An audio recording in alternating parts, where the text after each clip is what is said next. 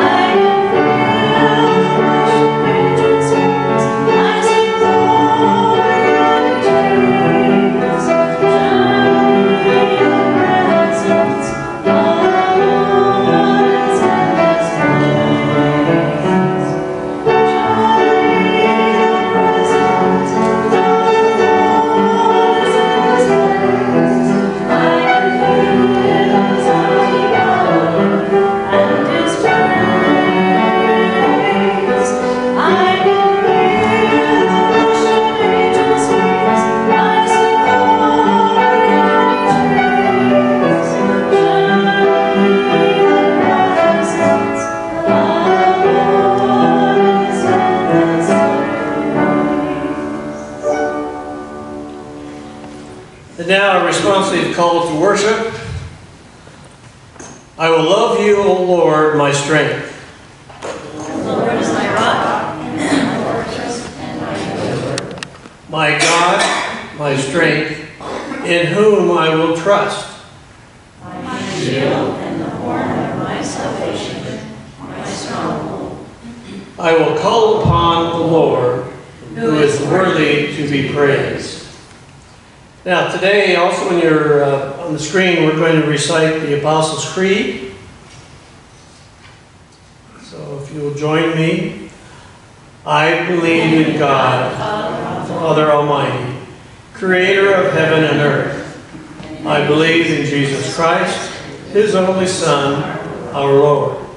He was conceived by the power of the Holy Spirit and born of the Virgin Mary. He suffered under Pontius Pilate, was crucified, died, and was buried. He descended to the dead. On the third day he rose again.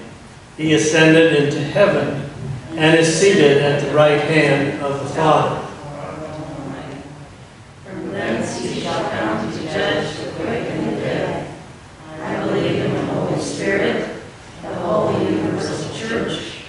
Forgiveness of sins, the forgiveness of sins, the resurrection of the body, and the life everlasting. Amen. Our next hymn is How Great Thou Art. We'll be singing verses 1 and 3. They're again on the screen.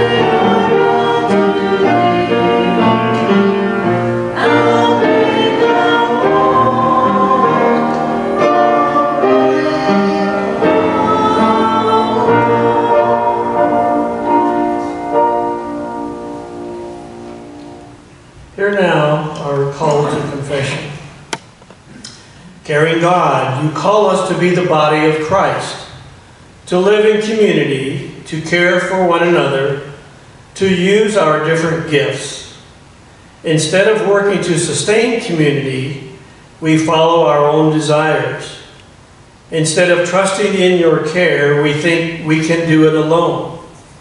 Forgive our neglect of others. Give us obedient spirits, that we may care for one another, depend on your love, and use our gifts for your gospel. Amen.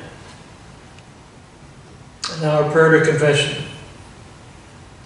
Abba Father, who art in heaven, we ask that you would cleanse us of our sins, make us white as snow, Give us strength to refuse the temptations of this world and to die to the flesh's desires.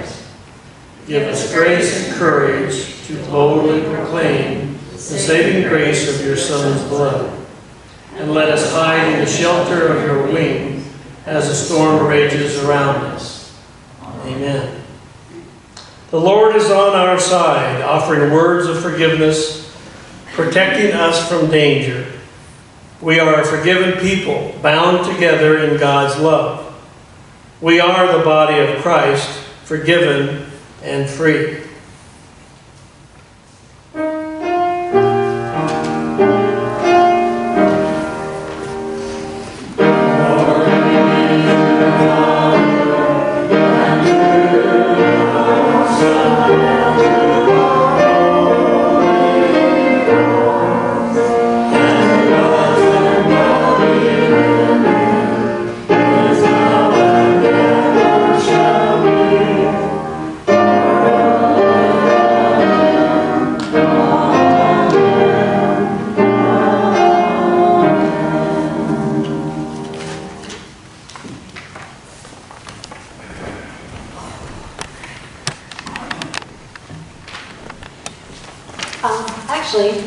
Get you to shut the lights off for me? If you promise you won't go to sleep, can I, can I get the promise? We shut the lights off? Well, the scripture today, so we were looking at Esther. And today we're going to finish up with Esther. Um, most people don't know that there's more to the story. They usually just end it kind of where we did last week. But there's about three more chapters. But there's also a parallel and a mirror between Esther and the book of Romans that we're going dive into today. So we're going to look at two verses from Romans. This is the scriptures from Romans 5, 1 through 11, and Romans 8, 12 through 17. And I went ahead and I put everything up on the screen this week because I know some people are more of a visual learner. So you can follow along if you want, or you can just listen. Therefore, since we have been justified through faith, we have peace with God through our Lord Jesus Christ. Through our Lord, I'm sorry, through whom we have gained access by faith into the grace in which we now stand. And we boast in the hope of the glory of God. Not only so, but we also glory in our sufferings, because we know that suffering produces perseverance, and perseverance, character, and character, hope. And hope does not put us to shame, because God's love has been poured out into our hearts through the Holy Spirit, who has been given to us. You see, at just the right time, when we were still powerless, Christ died for the ungodly. Very rarely will anyone die for a righteous person, though for a good person, someone might possibly dare to die. But God demonstrates his own love for us in this. While we were still sinners, Christ died for us. Since we have now been justified by his blood, how much more shall we be saved from God's wrath through him? For if while we were God's enemies, we were reconciled to him through the death of his Son, how much more, having been reconciled, shall we be saved through his life? Not only is this so, but we also boast in God through our Lord Jesus Christ, through whom we have now received reconciliation. And from chapter 8, Therefore, brothers and sisters, we have an obligation but it is not of flesh to live according to it. For if you live according to the flesh, you will die. But if by the Spirit you put to death the misdeeds of the body, you will live. For those who are led by the Spirit of God are the children of God. The Spirit you received does not make you slaves so that you live in fear again. Rather, the Spirit you received brought about your adoption to sonship and by him we cry, Abba, Father. The Spirit himself testifies with our spirit that we are God's children. Now, if we are children, then we are heirs, heirs of God and co-heirs with Christ, if indeed we share in his suffering, in the order that we may also share in his glory. Thanks be to God. So the book of Esther Esther is us, the mirror. Now, I know we have some people here today that haven't been up on through all those weeks that we've been doing Esther. Um, so I'm going to just do a little bit of a background. We're just going to do the quick little synopsis of the whole story. So that way, maybe it'll even be a rejog. So when we dive into Romans, you'll start seeing the connection. So the recap is, as we said, this was during the time that there was a Jewish remnant that stayed behind in Persia. This was after the deportation. And King Cyrus of Persia had taken over and he allowed the Jews to go back home. Now what did they do? They started rebuilding King Solomon's temple. So when you hear about the second temple, that was the one. Now, the new king of Persia at the time was King Xerxes, and he married Queen Vashti, which was King Nebuchadnezzar's granddaughter and she becomes pregnant. Now, the king wanted to show her off, or as I said, I think more he wanted to show off what was inside, the heir to the throne. And she refused during the drunken, drunken brawl, and so that broke an edict. I should say that, well, it didn't break an edict. She just refused, and that was breaking the law. And so the wise men said that they wanted an edict made that Queen Vashti would be dethroned so that all the other women would not follow suit and disrespect their husbands. And they also banished her, even from the king, which made another problem. He needed a new queen. So that's where we jumped in last week, and we found that there was a young, young Jewish girl by the name of Hadassah. She was adopted by her cousin Mordecai. Now, for fear of their nationality being Jews, he changes her name to a strong Persian name so nobody will know that she's Jewish, and he names her Esther. And as we saw, Esther literally means that which is hidden. And there are so many hidden things in this book that is so much fun. It's like an onion. You peel back the layers and you find more and more. I really wish we could have done about a 14 week Bible study on this, but maybe another time. Now, the name of God is never mentioned in this Bible. That's another, in this book, that's another hidden thing. However, God's thumbprint is on everything. And if you even get into some of the coding, you find that his name really is mentioned along with Yeshua five to nine times within the story. So God is not hidden at all. And the book is full of coincidences, or I would say God incidences, because God is orchestrating all the events. Now, there was a man by the name of Shimei that David showed grace to instead of killing him. And he has a grandson who is Mordecai. And Mordecai ends up being King Xerxes' gatekeeper. Hence why he was some of the remnant that didn't go back. He had a very prestigious job and he liked it in Persia. And so God is radiating through his cousin Hadassah. And everybody knows that she's humble, she's pure, she's lovely for the inside out. And she even takes the king's and so he picks her to be the new queen of Persia against her better judgment, but that is now where God is using her. So we come now to our villain in the story. If you remember, how many here would know what you're supposed to do when you hear the word Haman? Mm. Boo, that's right. Good Orthodox Jews, every time Haman's name is mentioned, you're supposed to hiss, go, and spit. I wouldn't, I wouldn't suggest spitting, but he is named five times in the book of Esther as the enemy of the Jews. We know why? Because of Saul's disobedience, and he didn't kill King Agag, and he let his son go.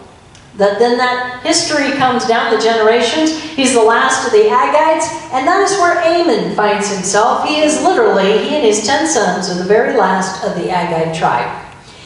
And um, his whole purpose is revenge.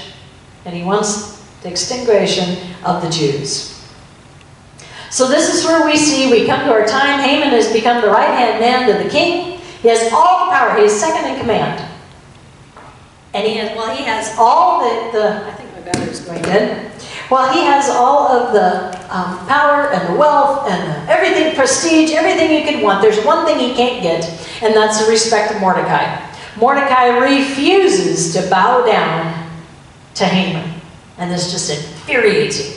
So Haman decides he's going to kill Mordecai. But then when he finds out who Mordecai is, that he's a Jew, yep, my battery's going dead, that he is a Jew, Haman decides to devise a plan to wipe out all the Jews once and for all. Now he's a very suspicious man and he starts casting lots. So if you've heard of the word of Purim, that's a holiday that the Jews still um, celebrate to this day. It's commemorating this right now. He casts lot to find out when the day is that he's going to exterminate them, and it happens to land on a year from this time. So he goes to the king with his plot, and he tells him that there's evil people plotting evil things behind the king's back. They must be dealt with and totally eradicated. Now this is the catch. King Xerxes, without paying any attention, knowing any of the facts, he doesn't know who they are or what they've done, he gives Haman his signet ring, which is like an open checkbook, and he says, do it as you wish. Well, that sealed their fate. And as we know, once an edict is in, even the king cannot change it. So when all this gets reported, I mean, Mordecai knows about it. He goes back to Esther, and Esther says, I can't go before the king, I'll die. Mordecai shows his faith because he tells her this very thing. He says, Do not think that because you are in the king's house, you alone of all the Jews will escape. For if you remain silent at this time, relief and deliverance for the Jews will arise from another place. But you and your families, father's family, will perish. And who knows but that you have come to your royal position for such a time as this. The most famous line that's probably still quoted to this day. So Esther, this is where she goes back and she tells them, okay, we're going to fast and we're going to pray for three days and three nights. And this is going to become crucial when we get into Romans. If you notice in the Old Testament, there's a lot of three days and three nights leading up to Jesus in the tomb. And then when this was done, she says, I will go to the king, and even though it's against the law, if I perish, I perish. So that's where we find her now. She's getting ready to go before the king. And it says she adorns herself in royal robes. That's going to be another key. I'm giving you clues along the way. So she goes to the king in her royal robes, and he extends out the golden scepter so we can breathe a sigh of relief. She does not die, but she doesn't have the guts to tell the king what it is she really wants. So she invites him to a banquet. Have you ever had a time in your life where you knew you needed to do something and it just didn't feel right? Timing was just all off, even though you wanted to and you knew you should. Well, that's usually a God thing. Because God is still putting the pieces down and He's orchestrating this all together. So she says, um, if it pleases the king, I want to invite you and Haman to a banquet that I prepared. That sounds like a good thing. So they go to the banquet. And Haman comes out of that banquet so full of himself, he's so excited, he's just been honored with something that no other man has had. A meal with both the queen and the king. And as he's he goes by Mordecai, who refuses to bow down to him. And all of that excitement, all of that pride just, he gets so mad. He's in such a rage. He goes home. His wife and his friends tell him, just get rid of Mordecai, kill him. So that's what he does. He builds a gallows 75 feet tall to put Mordecai on. Now, as I said, gallows and a says hung is not really what it was back then. It was really a pole that they paled on, which was really the first crucifixion. That's going to become another key. Started with the Greek, with the Persians, and went to the Greeks, and then to the Romans. So this is what he's thinking about. He's going to go to the king first thing in the morning to ask him if he can execute Mordecai. Now, I want you to realize, if you didn't catch this last week, that the entire fate of the Jewish nation rests on one night that the king can't sleep. Because he goes home and he cannot sleep after that banquet. So he brings in the scribe, and that was pretty protocol. When the king couldn't sleep, they would start reading from the annals. The scribes would follow him all day long, and they would take basically a diary. And you gotta love God. Of all the days that the scribe picks to read from, it wasn't counting sheep or the amount of harvest they took in. It was from five years ago when a certain man by the name of Mordecai saved the king from an assassination plot. King perks up his ears and he goes, Ah, I remember that. But it doesn't say. He says, What, what reward was given to Mordecai? The scribe says, Nothing. it was a clerical error. But it wasn't. It was in God's timing. So he's thinking about all this. We got to do something. We got to reward him. And about the time he hears footsteps downstairs in the, in the palace courtyard, and he said, Who's there? And he says, It's Haman. And Haman comes in ready to say, I want to execute Mordecai. And the king says, Wait a minute, wait a minute. I got something for you. He says, What would you do? You're good with ideas. What would you come up with as a plan to honor somebody that the king delights in? Oh, Haman gets so puffed up. He's thinking all these wonderful things. Well, there's nobody that the king likes better than me. So he says, Oh, you need to give him one of your royal robes and put him on your royal horse. And yeah, you know what? Let's give him a parade. And then make one of the princes lead him through the parade, hollering, This is what happens to the man that the king delights in. and then the king says, You know what? That's great. Go at once and do everything you just said. Don't admit anything, but do it for the good Jew Mordecai.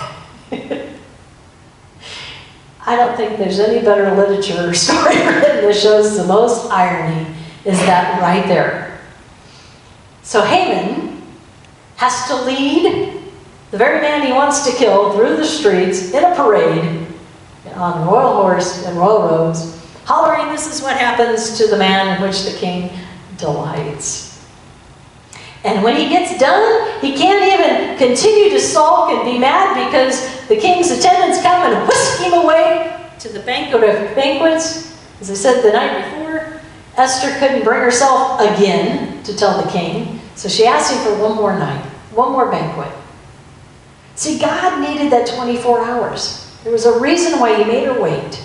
Because during that 24 hours, instead of Haman being elevated and Mordecai being killed, the tables have reversed, and now Mordecai has been elevated, and Haman is about to get what he deserves. And it's during this time that the king, his curiosity is so piqued, and he says, What is it that you want? What can I do for you? And if you notice how she always starts it, she says, Humbly, if it pleases the king, would you spare my people? This is my request. For my and my people have been sold to be destroyed, to kill, annihilated. If we were merely sold to be slaves, I would have kept quiet. But because no such distress would justify disturbing the king. See, she's still telling him, she's still buttering him up. If I was even being sold out from underneath you to be your slave, I wouldn't have said anything.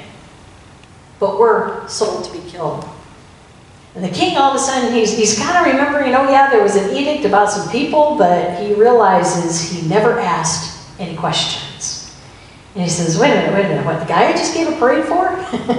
and now my queen? Who did this? See, he's not taking the responsibility on himself. Who did this? And she says, the adversary, the enemy, this vile Haman. Boo. Maybe gets, and all of a sudden he realizes, and the king is furious, his men behind him put a towel over Haman's face, and then it is his eunuchs that says, hey, you know what? There's already a pole, 75 foot pole outside of Haman's house. He was going to kill the good Jew Mordecai on it. the king says, hang him on. What a flip of events. 24 hours. Just 24 hours. So that's where everybody usually leaves it. Happily after ever. The wonderful ending. But that's far from the end of the story. Because there's still an edict. We forget about that. Remember the one that was put into place that said all the Jews were to be destroyed in one year? Well, four months goes by, and Esther goes before the king a second time. We don't talk about that either. The first time, she risked going for death to go before him unannounced. This happens again. She's not invited the second time, but she adorns her royal robes and she goes before the king humbly and he extends the royal scepter to her again. And she tells him, There's still this edict. My life and my people's lives are still at stake. He's basically begging him to fix it. Well, of course, he can't get rid of the edict. So he looks at Mordecai, who now has taken Haman's job. He is now the right hand man, the second most powerful man in Persia. And he has been given the king's sign, his signet ring, which means anything that he has that ring, he's got the blank checkbook. And the king says, You have my ring. Do what you need to do. So Mordecai makes a new edict that says that the Jews have full authority to prepare and to fight when the attack comes. And whoever they conquer, they get to keep the plunder. Now, this includes 127 provinces. This is not just in Persia. This goes all the way over to east by Asia, it goes clear down to Egypt and Africa, all the way up north to Israel. So think about this. The people that had left from King Cyrus, they went back, they're building the temple. This includes them. They would all be eradicated. So it goes out in all these different languages. So as the time draws near, it says many converted to Judaism. You gotta love that, right? Now maybe it was just for self-preservation. I mean, they had seen what all God had done for the Jews, so they're jumping on board. Maybe some jumped on board because agreed, because they knew whoever we conquer, we get to keep their stuff. And maybe some actually converted to Yahweh. Even the king's army fought alongside of the Jews. The very people that were supposed to kill him have now joined him. So, see, with God, they won easily, and they had peace in the land. So, Esther saves the people, in a sense, kind of twice. By risking everything to alert the king the first time and then risking death again to bleed, plead for a way to save her people. Now, as I said last week, Xerxes is actually assassinated three years after this happens. Uh, Mordecai had thwarted an attempt before, but this time uh, he does die. And after he dies, his son, that I said Queen Vashti was pregnant with, he becomes the heir to the throne. And he reinstates his mother as queen. And we see that Esther falls into the backdrop, which is probably where she wanted it to be. God had used her for that time, for that purpose. And now she probably leads a life of peace. We don't really know too much about Esther after that happens. But my question to you is where do you see yourselves in the story? What character did you relate to the most? Now, the next question is how does the story do you see playing into the whole role of the words that Paul wrote in Romans? We're look at verse 5 again. Therefore, since we have been justified through faith, we have peace with God through our Lord Jesus Christ, through whom we have gained access by faith into this grace, that which we now can stand and we boast in the hope of the glory of God. Did you notice Mordecai? What a faith! From the very beginning, he had faith. When he even goes to Esther, he says, Deliverance will come from some other place. He's remembering the words of Abraham that God had given him. Through you, I will make a great nation. I will sustain the nation. Through Moses, he knew of the covenant. So he had that faith. And he had a peace deep down in God. That's where he boasts in the hope of the glory of God. See, David, as we saw, he showed grace the first time to Shimei. And Mordecai shows the faith and then that perseverance. And Esther is really us, isn't she? When we're obedient, anyway. she was obedient. She trusted in God, not in herself. She didn't just say, Well, I'll go see the king. No, what did she do? She took that time to fast and to pray, and not just herself. She said, All of my, my harem will do that, all my attendants, and I want you to go and get all the Jews to fast and pray for three days and three nights. Jonah was in the belly of the whale for what? Three days and three nights. When Jesus is with his disciples, before he's ready to be crucified, he brings up the story of Jonah and he says, just as Jonah was in the belly of the whale for what? Three days and three nights, so must the Son of Man. There's another key thing. When the time came for her to go before the king, this is after she's fasted, she's had on sackcloth and ashes. It says she dressed in her finest royal robes. She didn't go moping in front of the king. Oh, woe is me. No. It said she cleaned herself up and she presented herself in her finest. She knew what the protocol was to go before the king. She came humbly in reverence before him. She had already died to herself to offer herself up as a living sacrifice if needed. See, do you see the symbolism here? I talked a little bit about the church being the bride and Jesus being the bridegroom. We're going to look more into that down the road in the next maybe few weeks and months. But as the bride, do you go to your wedding in your t-shirt, your shorts, or your painting clothes, or your gardening clothes? No, you put on your finest. You adorn yourself in your royal robes to be presented before the king.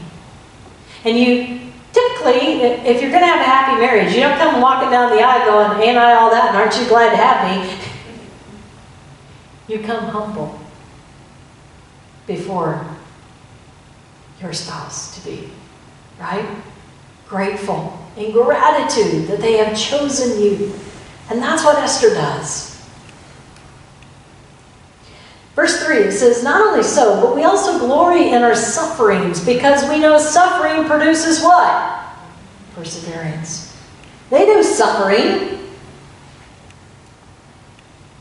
but it makes you persevere. I want you to think about times in your life, the times where you have suffered, the times that have been really big trials. Did it make you stronger? Or did you just hide in the corner and never face life again? Because it says if you persevere, if you dig within and you cling to God with that faith, it builds what? Character.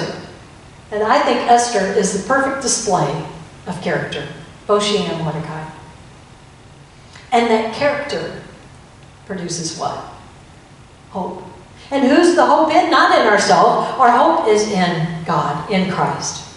And hope does not put us to shame, but because God's love has been poured out into every heart through the Holy Spirit who has been given to us. Don't you love that? That's the hope.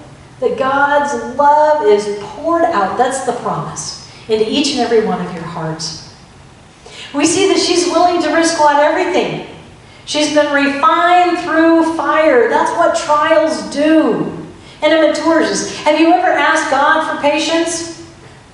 Don't, unless you want Him to put you through something that will require you to learn patience. If you ask God that you want to be more faithful, be careful, because He's going to put you in situations that's going to require you to have to learn how to become more faithful.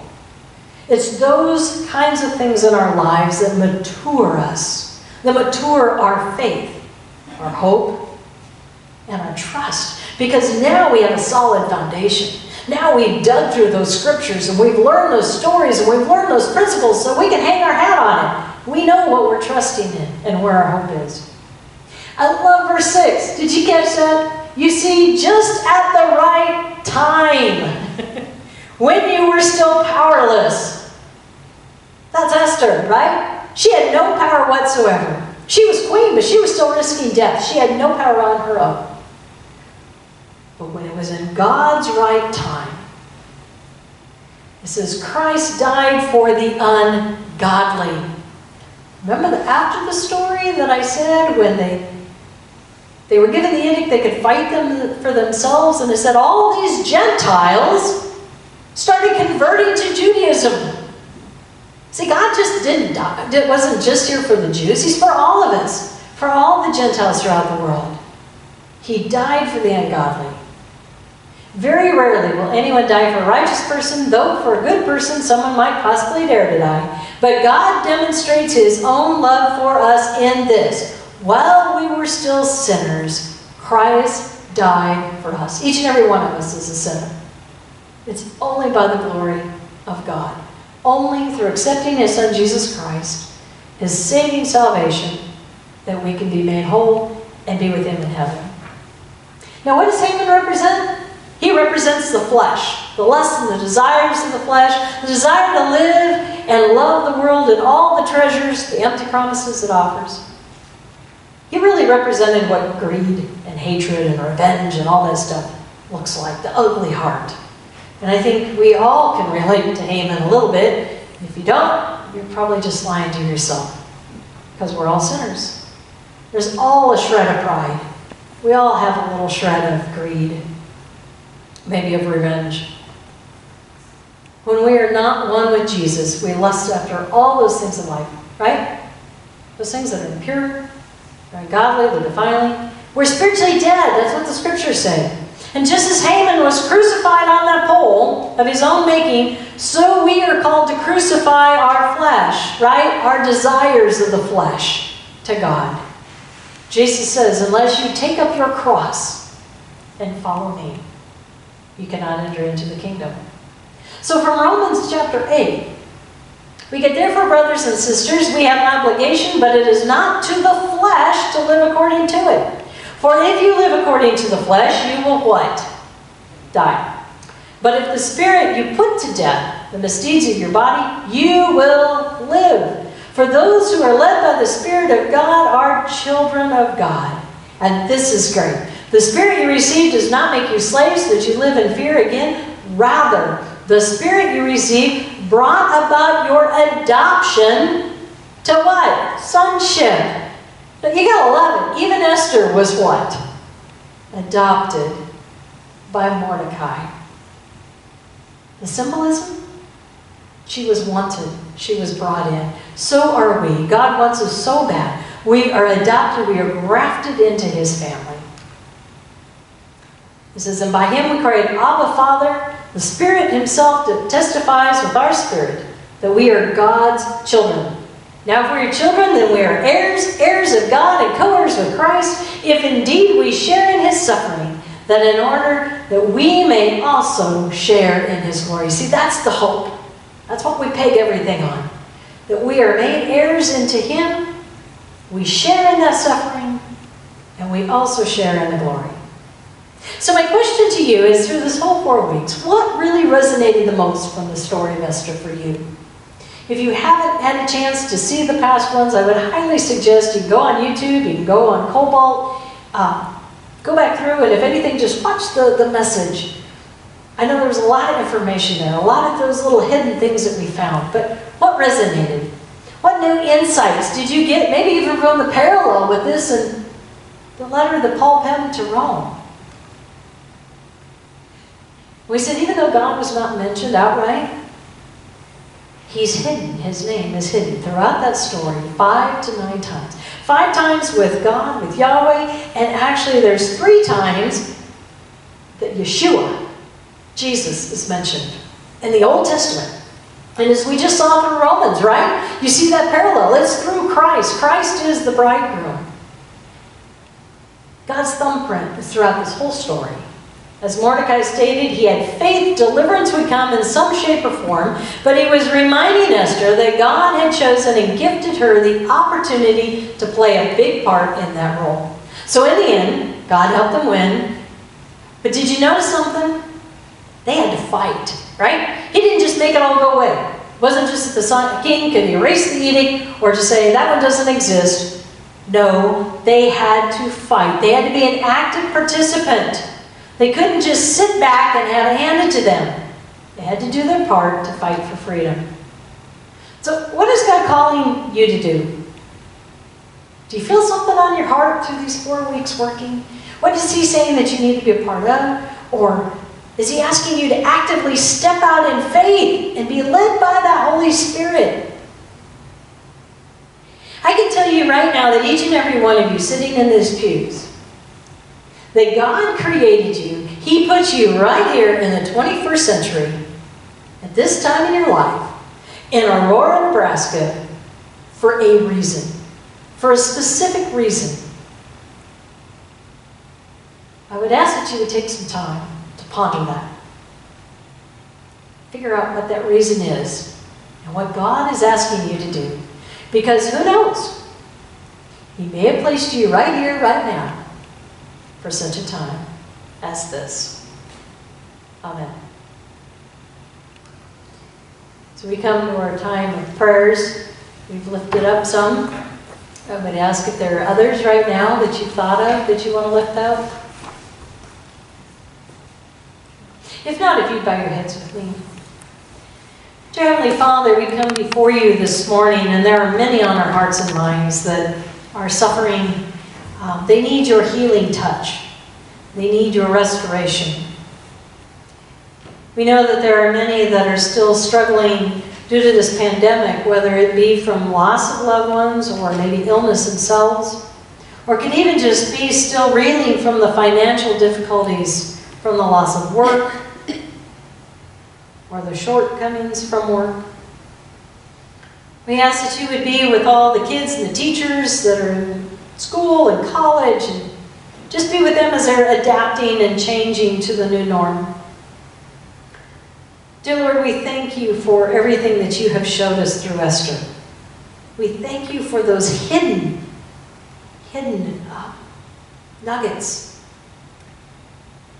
My prayer is that you would touch each and everyone's heart to dig into the scriptures, to be hunger to hunger deep within, to want to know more, to learn more. So that way they have a solid foundation. Something that they can, without equivocally, put their faith and their hope and their trust in and not be afraid to proclaim it to everyone else. We thank you for your Son, Jesus Christ, who died not just for the godly, but for the ungodly, for each and every one of us, for Jews and Gentiles, for slaves or free for men, for women. We thank you for that gift. We thank you that He allowed himself to be crucified on that cross. But he didn't stay there. He arose again. He ascended into heaven. And he has bridged the gap and made a way that we can one day too be with you in heaven as well. And we thank you for that gift and the other gift of his prayer that he gave us on those times when we are wrestling in our souls so much that even the words cannot leave our lips. You've given us a prayer that we can pray to you anytime and any place. Would you please join with me in the Lord's Prayer? Our Father, who art in heaven, hallowed be thy name. Thy kingdom come, thy will be done, on earth as it is in heaven. Give us this day our daily bread, and forgive us our debts, as we forgive our debtors. And lead us not into temptation, but deliver us from evil. For thine is the kingdom, and the power, and the glory forever and ever. Amen. So we come to our time of offerings. Again, the plates are in the back. But I would ask you to think of more than just the monetary. God has called us to give of our first fruits, not just that which He's given us physically, but that which He's given us internally. He's asking us to give of ourselves first to Him before we expend our energy on everything else. Ask God what it is that He's requiring of you, what He's asking you to give, to sacrifice, that could spread His gospel and His message out the block, down the street, through the community, beyond the state, beyond the nation and the world about His Son's saving grace. Amen.